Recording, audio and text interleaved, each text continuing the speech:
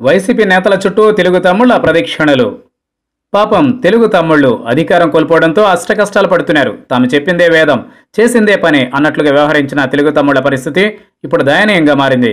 అధికారంలో ఉండగా చేపట్టిన పనులు ఎక్కడికక్కడ నిలిచిపోయాయి. ఆయా పనులకు సంబంధించిన బిల్లులు కూడా వచ్చే పరిస్థితులు దరిదాపుల్లోనూ కనిపించడం లేదు.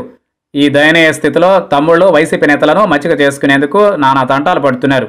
ఇన్ని రోజులు ఏపీలో టీడీపీకి తప్ప మరో పార్టీకి స్థానం లేదని చంద్రబాబే తమ దేవుడంటూ బాజా వాయించిన నేతలందరూ ఇప్పుడు వైసీపీ నాయకుల చుట్టూ చక్కర్లు కొడుతున్నారు. ముఖ్యంగా ఈ పరిస్థితి కోస్తా జిల్లాలో ఎక్కువగా కనిపిస్తోంది. పలు నియోజకవర్గాలకు చెందిన ఓ కీలక నేతలు మరికొందరు నాయకులు వైసీపీ నేతల చుట్టూ తిరుగుతున్నారు. అయితే ఆసక్తికరమైన విషయం ఏంటంటే తమ కంటే చిన్న స్థాయిలో ఉన్న వైసీపీ నాయకులను కూడా కలిసేందుకు తెగ ప్రయత్నాలు చేస్తుండడం గమనార్హం. వైసీపీ నేతల మద్దతు లేకుండా చేసిన పనుల బిల్లులు వచ్చే పరిస్థితులు కనిపించడం లేదు. అందుకే పలువురు తెలుగు తమ్ముళ్ళు వారి చుట్టూ తిరుగుతున్నారు. కొన్ని కీలక నియోజకవర్గాల్లో ముఖ్యంగా పట్టణంలో వంద కోట్లతో చేపట్టిన అభివృద్ధి పనులు చాలా వరకు మధ్యలోనే ఆగిపోయాయి. దాదాపుగా ఇరవై శాతం లోపు అయిన పనులన్నింటినీ ఆపేయాలని ముఖ్యమంత్రి జగన్ ఆదేశించిన విషయం తెలిసిందే.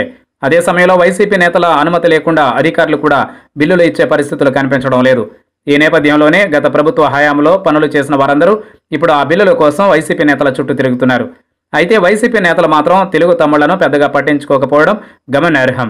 ఇక మరికొందరు నేతలు ఏకంగా పార్టీ మారేందుకు ప్రయత్నాలు చేస్తున్నారు. ఓవైపు వైసీపీ నేతలను మచ్చిక చేసుకోవడంతో పాటు పలు జిల్లాలకు చెందిన కీలక నేతలు బీజేపీలోకి వెళతారనే టాక్ బలంగా వినిపిస్తోంది.